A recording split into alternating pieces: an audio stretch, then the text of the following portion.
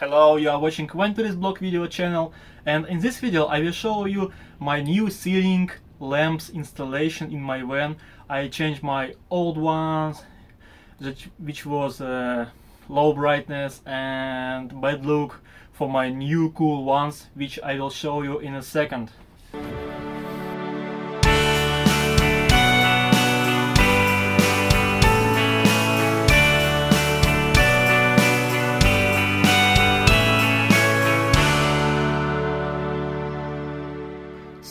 This is how my lamps in a van look now. Pretty cool, right? Uh, it has a separate button for for each light, and I have three of them. One on the front, one in the middle, and one in the back.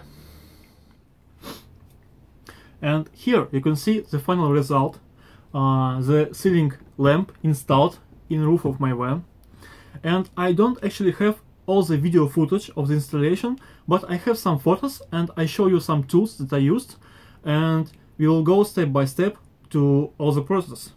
Let's go! So first one I got these lamps. It's a low profile LED lights uh, and what makes them cool it's actually uh, LED it's a LED stripe that goes around the inside perimeter and faced to the center of the lamp and that makes this lamp uh, very soft lighting. Yeah, you see, you couldn't see the light source in your lamp, uh, it's just plain, very soft, bright, cool light. So I got these lamps for not very pricey uh, I will of course put all the links in the description of the video. But I don't like uh, the white frame of the lamps. Yeah you see it's not very great. So I disassemble the lamp took the frame and go to the garage to paint uh, it like I paint my ceiling fans before I put two layers of the primer and three layers of the actual paint and it turns out very good looking lamps so I am happy with this result. Next I make some measurements, take my sharpie and mark the contour of the lamp in my ceiling. Uh, the next thing I took my stapler and actually make a square contour uh, to my leather not going anywhere when I will make a hole. It helps to secure the material on the plywood and I able to make a hole without making my leather go anywhere. Ooh. Then for making a hole uh, without putting the ceiling off which is very hard job in my van. I took this vibrating multi-tool uh, with this vertical sided blade.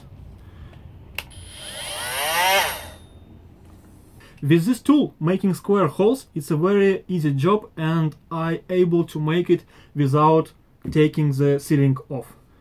But if you don't have these tools, you can uh, use the jigsaw machine but you have to put ceiling down to make your hole. After I cut the hole, I need a small hole for my buttons, which I got from China. It's a simple, a very cool buttons with this soft glowing ring, which I so much like. Uh, they looks very luxury and I actually have uh, some of them with uh, uh, another colors of the ring. It uh, have orange green red anything. So maybe it will be useful for your pro project too. So for make this I took my drill with a wood drill and just make a round hole then put the button in the next step was the connection. Uh, all the lamps came with this uh, adapter that I don't know what purpose it makes, but uh, it connects to the lamp and it takes 12 volts power to operate. So there all the wires connected to the my button and with these easy connectors it connects to my source power from from my fuse box which is simple connection. Uh, all my lamp has separate wire there and all have this button and could working separate one from the other. Thank you for watching. I like the installation of these lamps very much because they are very flat. I don't touch them with my head. Uh, they provide very bright and soft light, which is warm white. So it's very important for me because I don't like the cold white uh, light. And now I have uh, three lamps and plenty of light in my van when I want it to be. I will put all the links in the description of the video as usual and subscribe to my channel. Go to check out my other videos. Thank you for watching and bye!